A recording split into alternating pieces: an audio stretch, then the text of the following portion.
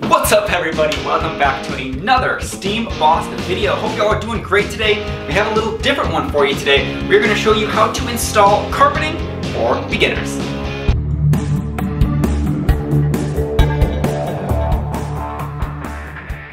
Alright, so in this video we are going to give you a step-by-step -step process of how to install carpet. So right now we are currently in our uh, test room here. It is a pretty standard bedroom, about uh, 13 by 10. So first, let's show you the tools that you're gonna need.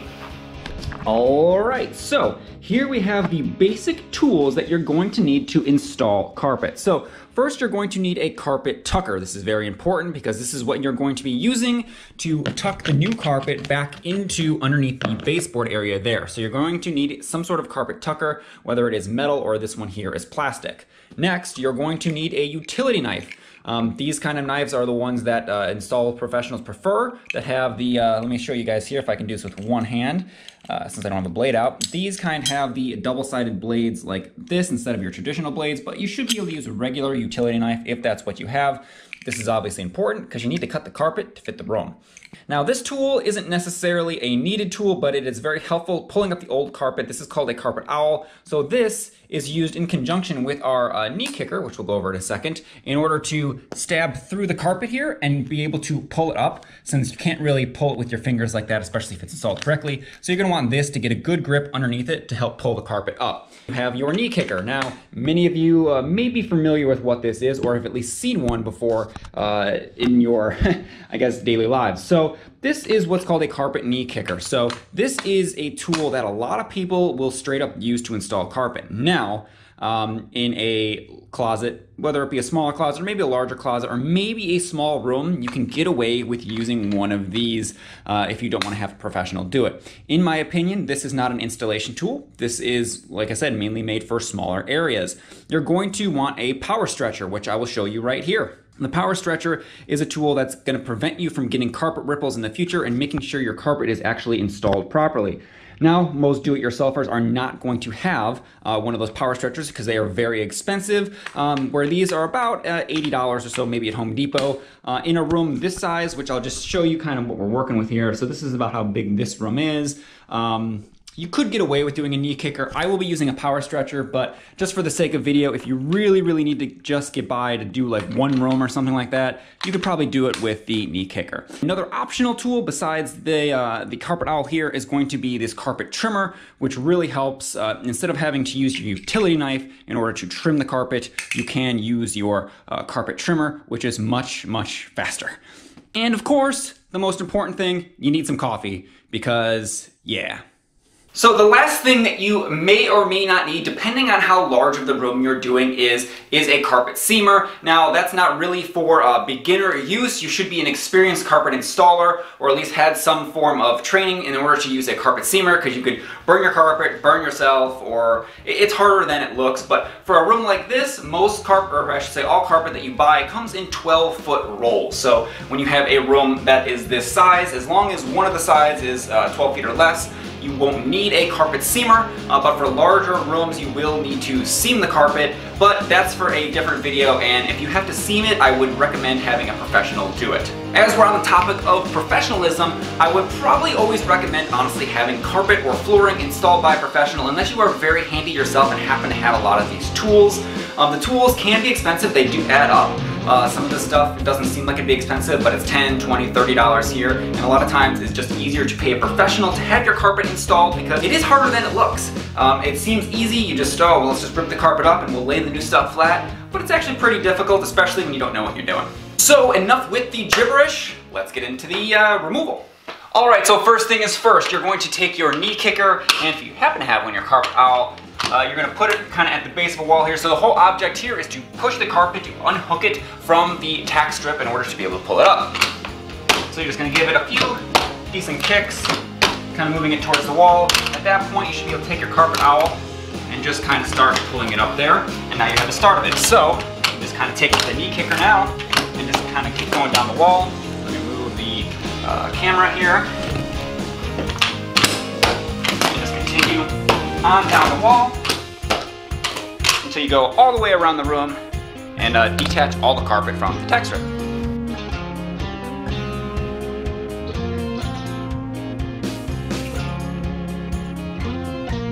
And Then it's important, very important step here, people.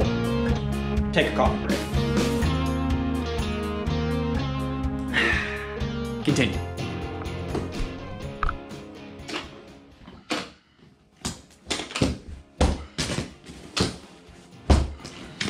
So now at this point, once it's pretty much detached, you should be able to honestly just pretty much mostly pull it out. All right, so at this point, we're just gonna pull up all of this carpet. Now, what I like to do is, to, in order to get out of the room, I'll probably end up cutting this in half. Now, when you cut carpet, I prefer to take your knife, and you're gonna wanna cut it from the back. Now, one of the most important things in doing this with carpet is having fresh razor blades. So a, a fresh blade is your friend. A dull blade, you will uh, cut yourself. You have to be very, very careful with these tools. They are very, very sharp. But if you're going to cut this carpet to get it out here, make it easier, cutting on the back and just going down the middle like that of the backing will cut it much easier uh, than trying to cut it on the face.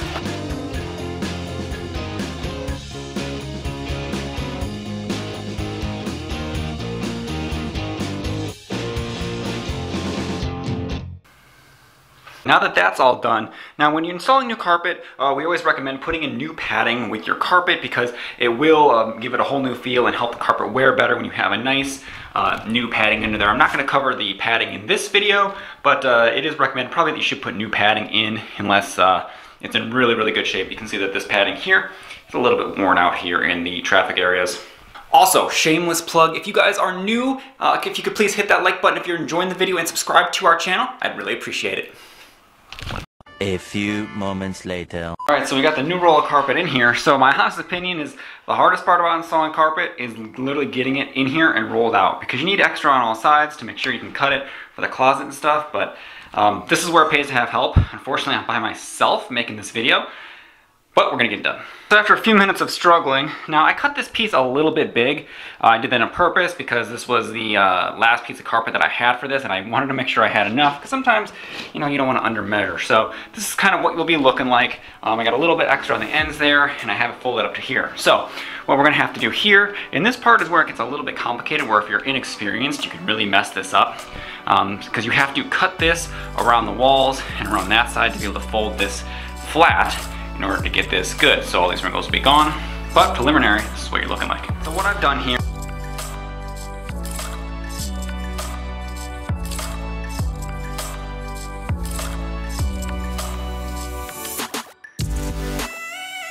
is I've kind of gone around and done my first round of trimming. So I've trimmed around there, around there, left a lot of extra, so that way we can cut around it when we actually start installing it. But at this process, this is kind of what it looks like. Some people might have different methods of doing it, but I find this for beginners is probably the best because you don't want to overcut. Once you overcut, um, well, you're kind of done. So I'd rather have a bunch of extra to leave room for mistakes in this situation than, uh, you know, try to cut it more precisely and mess up. So during this phase, this is where the knee kicker really comes in. Really helps you kind of position the carpet if you have to move it one way or another. That's really what the knee kicker is good for. Now, this is the only tool you have at your disposal. You're pretty much going to kick the corners in all the way around this room using your tucking tool to uh, tuck the carpet kind of in place just to start.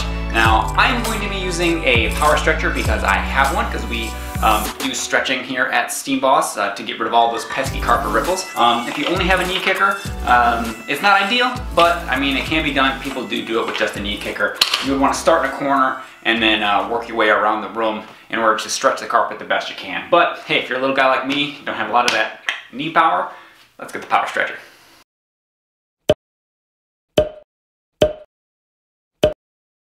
All right, so there is your power stretcher. So this tool goes uh, with the poles from one end of the room to the other. Let me show you guys the business end of this. Uh, so we got the business end right here. Look at that, huh?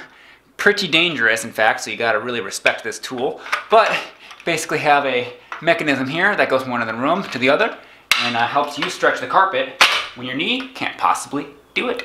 All right, so in order to get this started here, I have knee kicked in and tucked in that corner with my tucker tool. You got the pole going from that end. And now I'm gonna go to this end, we're gonna stretch this baby. Go all the way around the room and do this stretching wise. If you don't have one of these, uh, you're kind of left with just knee kicking the rest of it there. But I'm gonna go ahead and stretch this in kind of all the way around the room here and then show you guys how to trim it. And we'll be done.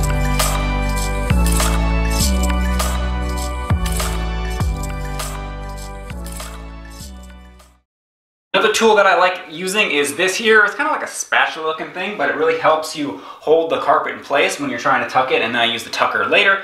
You don't need one of these, but it helps. Uh, you can get all of this stuff. A lot of these basic ones you can actually get at stores like Home Depot, Lowe's, whatever. Uh, some of the specialty stuff like the power stretcher you'd have to get from an actual flooring company, but like I said, um, for the sake of the video, I'm gonna try to use as minimal tools as possible.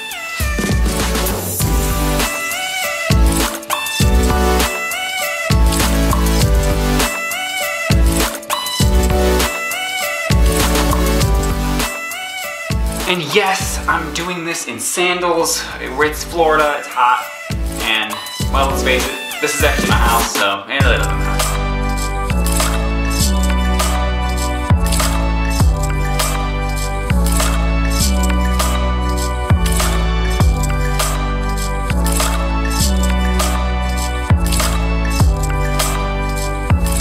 Alright, at this point, everything is stretched around this room here. So all I have left to do pretty much is just trim everything.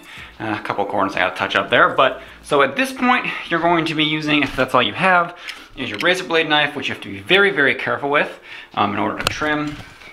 Recommend doing is kind of peeling it back and cutting it like this. Um, you can cut it like this, but uh, you're gonna risk uh, damaging your baseboard behind it. Um, that's why, if at all possible, I definitely recommend you getting one of these here, which these are uh, not super cheap, but if you're gonna be doing more than one broom, um, I would definitely recommend getting one of these. It'll save you a lot of time.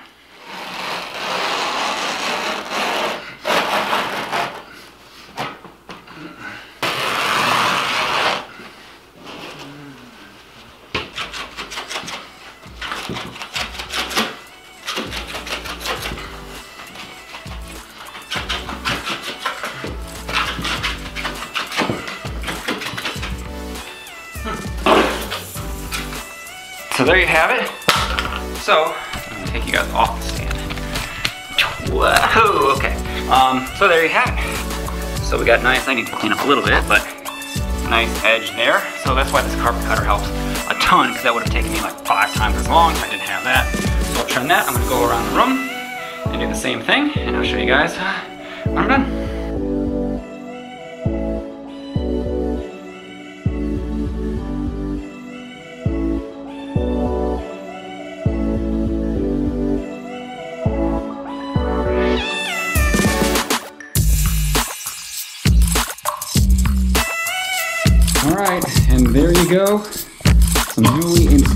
Now, I took my time, and this took me a little bit, especially because I was filming the video for you guys.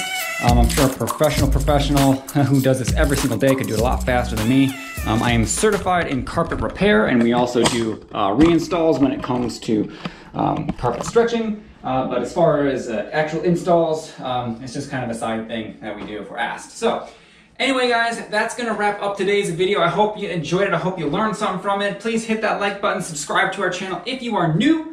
I really appreciate it, and as usual, see all you guys on the next video. Peace.